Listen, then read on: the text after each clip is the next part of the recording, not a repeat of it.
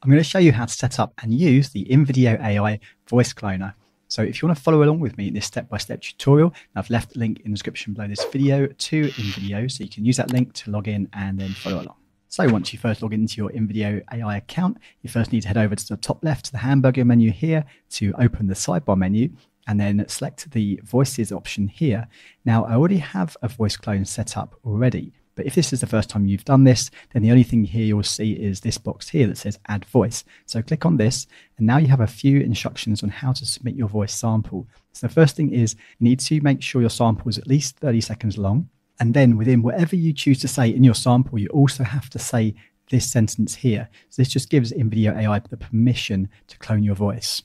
Then they also want you to pause between sentences, just like you normally would and they want you to use high quality recording equipment. Now, they don't specify exactly what high quality recording equipment is in their eyes. So just use whatever you've got. I mean, if you happen to have decent equipment, then great. If you don't, just go with what you got.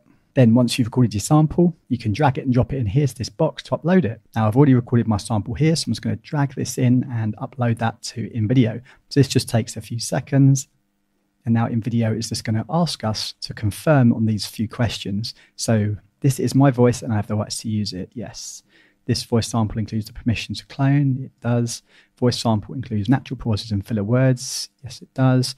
This was recorded using high quality equipment. Yep. And then click my sample looks good. And now this will start the process for InVideo to process your sample. Now this can take anywhere from a few seconds to a minute or two, depending on how long your sample is. Now InVideo AI has confirmed that your sample looks all good, and they've confirmed that you've given permission, and click on done. Now we can see my sample is uploaded here and ready to use. So first thing to do is click on this little pencil icon and now we can name our sample. So if I name it Steve, or actually my other one's already named Steve. So if I just name it John and click save. Now, when I give prompts to the AI, I can say use John's voice or use Steve's voice. And that's how I can directionalize the AI to choose my cloned voice.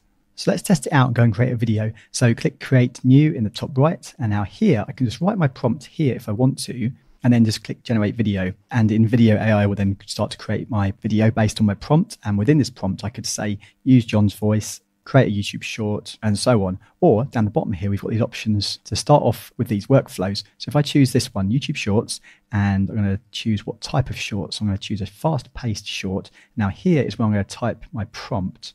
So in my prompt, I've said create a YouTube short of 30 seconds long on three tips to burn belly fat. Here are the three tips to cover. And then at the end, I've said include a call to action at the end of the video for the viewer to click a link in the video description to learn more about burning stubborn belly fat.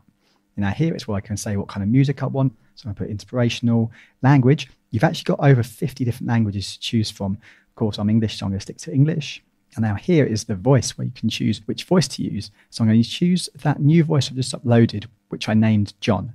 So use John's voice for the narrator add subtitles. Yeah, I'm going to keep subtitles on.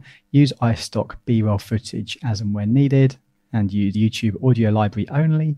Or you can choose to use music from other sources. I'm just going to stick with the YouTube audio library for now and click on continue. And now here's my prompt and click generate video.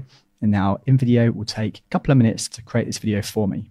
Oh, actually, before it creates the video, it's just asking us a few more questions. So, what is our audience? And it gives us three options to choose from fitness enthusiasts, health seekers, or busy professionals. So, I'm going to say health seekers, uh, look and feel, bright, inspirational, or clean. I'll go with inspirational. Platform is YouTube Shorts. Now, this is fairly important because depending on what you select here, will change the overall look and feel of your video.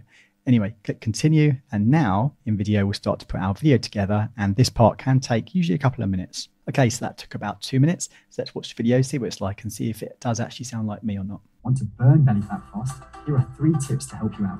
First, eat more protein. It boosts your metabolism and curbs cravings. Second, do cardio. Cardio burns calories and reduces fat. Third, cut sugars and carbs. Lowering insulin levels aids fat loss.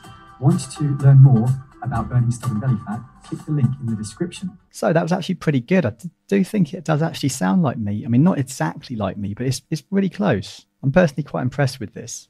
Now, at this point, you can give the AI more prompts down here if you want to make some changes. For example, if you want to make the music a little bit quieter, I did think that was a little bit on the louder side. I would have toned that down a bit. And also, just by writing prompts in here, I can even get the AI to change my voice into a different language. So I can speak in Japanese, but it'll be my voice, for example. Or I can switch it out and use one of the AI voices that come with InVideo. And I can also give prompts here to change B-roll footage. However, that is easier to do if you click the edit button here and come into the timeline of the video. Now, if you want to see a more detailed video that shows you everything basically you need to know to get started with InVideo AI, it's my step-by-step tutorial that shows you how to do all the editing as well. Then you can watch this video that I'm showing on the screen right now. Will talk you through everything, as well as showing you examples of different AI voices that come with InVideo AI, as well as your own cloned voice in different languages as well. So it's quite a fun video. So if you want to give this a go yourself and test out InVideo AI, then you can use link in the description below this video to access and test it out. It's really easy to use and it's actually quite fun to work with. And if you got value out this video, then please do like, share, and subscribe. It really helps my channel out a lot, and I really appreciate it. Now, if you do want to see my step-by-step -step tutorial on how to use InVideo AI, going through all the features, as well as how to edit your videos, then this is the next video you want to watch that's on my channel.